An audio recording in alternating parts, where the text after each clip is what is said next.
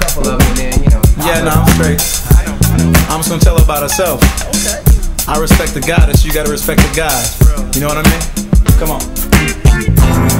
To know a woman is to love her, yeah. And she's